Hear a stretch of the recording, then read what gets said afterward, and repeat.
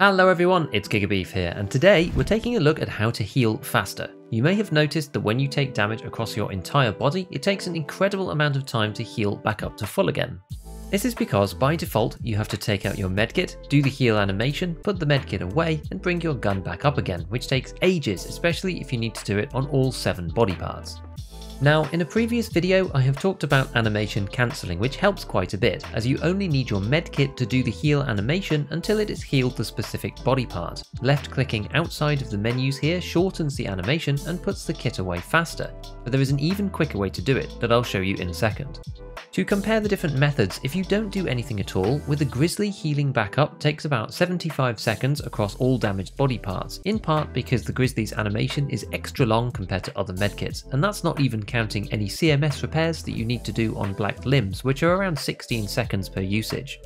With a Salewa, the full heal process without cancelling takes around 57 seconds, but when shortening these animations actively takes a total of 42 seconds instead, which is a big deal, about 25% faster. However, we can reduce this down by another 20% to 33 seconds overall, using the same idea that used to work for carpet bombing with grenades back when you could spam them over and over before the restrictions were added. A large part of the general healing animation is putting away your weapon and getting it back out again, so if you don't have a gun at all, the process is much faster. Keeping an eye on when the heal goes through, you can then left click outside of the menu to cancel the animation and instantly start pressing the med hotkey again, which will start the next heal way quicker than normal. The only unfortunate thing about this is that you can't have any weapons equipped at all. You can empty your hands by moving your primary gun to the secondary slot, but if you have a melee equipped, your PMC takes that out instead, and if you don't have a melee weapon, or you've put it in your bag already, after each action your character re-equips the weapon from the other slot, which is quite unhelpful in this specific circumstance. This means that you either have to drop your guns on the floor or put them in your bag, so you'd better make sure that no one is going to sneak up on you when you're doing it. Hello. There are also certain actions you can do whilst healing and some that you can't. Searching for loot through containers and bodies can be done if you're already in the menu and start the heal beforehand. If you're already in the healing animation, you can't open containers, and if you search first, then you're not allowed to use your medkit. But healing first still allows you to search afterwards. This helps to speed up the looting of enemy PMCs, in particular after a fight, because you can combine the healing and looting process at the same time. The other useful one is repacking mags after a fight. You can't heal and repack at the same time, and reloading cancels healing, but there is an overlap in the animation between repacking and getting the medkit out. In this way, you can in fact use the repack to animation cancel the healing once the limb's HP is back to 100 from within the menu, and you can get ready for the next engagement faster by combining these two together. Next up, doing all this testing with meds got me thinking about movement. When are we allowed to move, and at what speed with heals?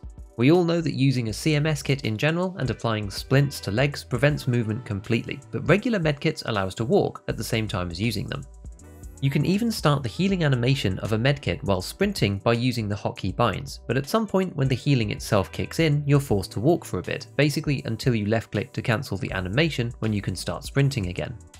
Interestingly though, if you jump just before the moment when the walking section kicks in, the healing animation starts to play anyway while you're in midair, and your PMC continues forwards at a decent speed.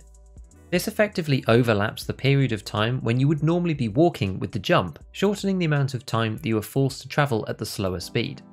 This works even better if you can get a bunny hop jump to work, which is where you jump from your left foot while sprinting. You can tell if you did it right because it sounds slightly different and you go faster than normal through the air.